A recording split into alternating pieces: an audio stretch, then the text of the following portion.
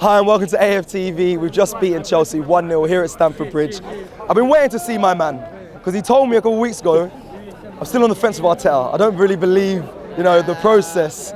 Bro, I knew that question was coming. you questioned him and I'm, I'm questioning you listen, right now. Listen, we're doing well. Well, Arsenal, Arsenal, I'm this is a great time, honestly, to be an Arsenal supporter right now, man. Like, the way how the team are playing from Ramsdale all the way up to Gabriel Jesus, from 1 to 11, our first 11 to 14 players, for me, can be anyone in the Premier League.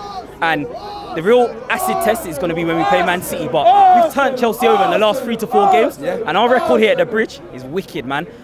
Listen, Granit Xhaka, yeah, the amount of respect that I've got on him now, I was a big critic of him, but that little incident with Chalobah sums up the spirit and mentality and the strength of Arsenal as a, as a football club right now. And listen, Gabriel Jesus, Mr. Alame is coming soon, I'm telling you. Aubameyang, Abama who, man? He, listen, it's nothing personal, I'm a blue. Listen, I I think he was wearing his.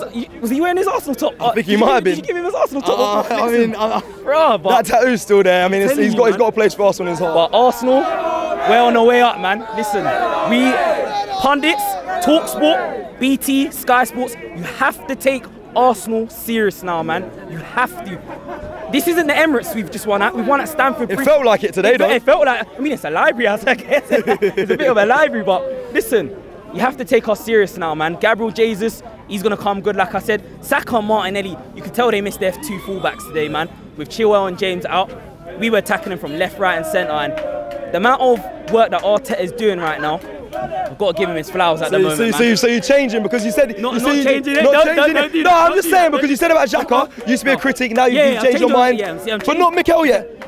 I want listen. I'm ha- no, no, no. I'm happy to. Be, I'm happy with Mikel Arteta. What more can he do for you? Listen, if we listen, I know we're gonna get top four, and I'm happy with him right now. But listen, as fans though, we have to raise our standards, man. We have. Listen, don't get me wrong.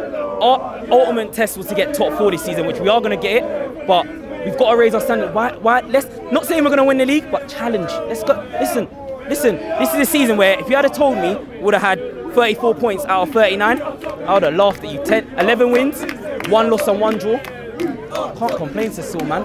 Listen, each and every time, man.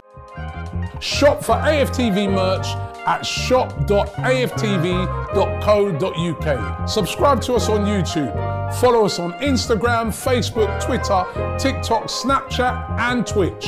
We've got content for every platform, so check it out.